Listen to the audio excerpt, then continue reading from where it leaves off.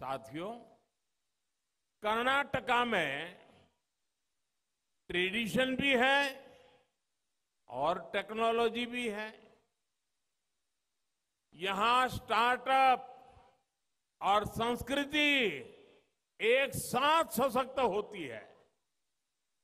यहाँ भारत की पुरातन और नूतन पहचान एक साथ समृद्ध होती है। ये डबल इंजन से होने वाले विकास का अद्भुत मॉडल है।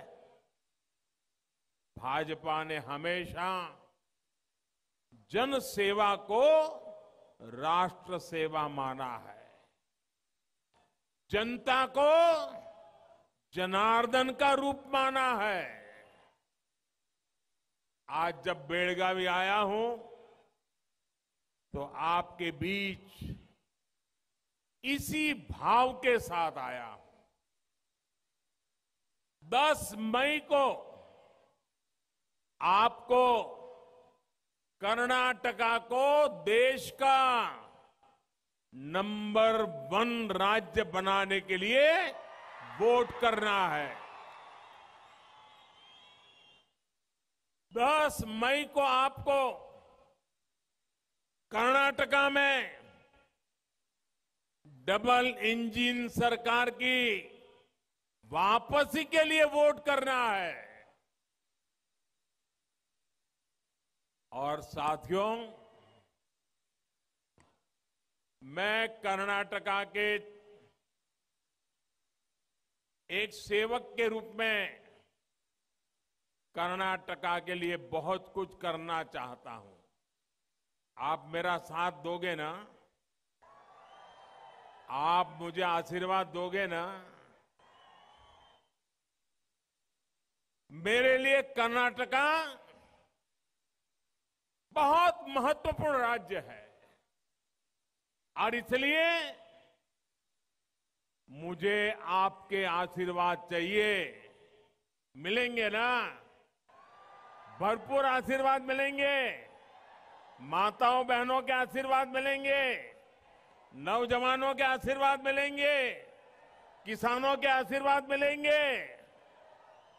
साथियों, भाजपा ने कर्नाटका के विकास के लिए नई ऊर्जा और पुराने अनुभवों के मेल से एक मज़बूत टीम तैयार की है।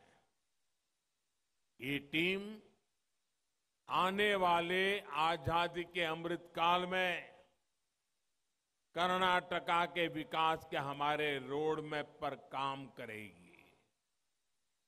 अमृत काल के संकल्पों को सशक्त करने के लिए इस टीम को आपके आशीर्वाद चाहिए।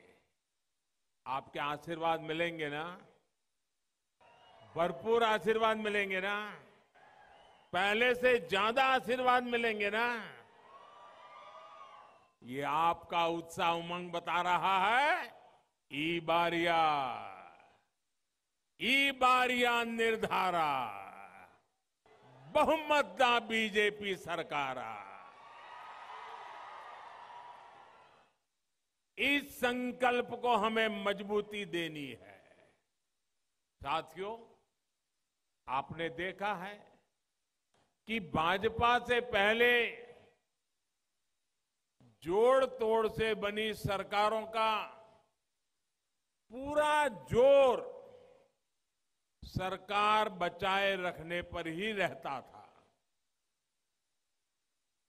अस्थिर सरकारों के उस कालखंड से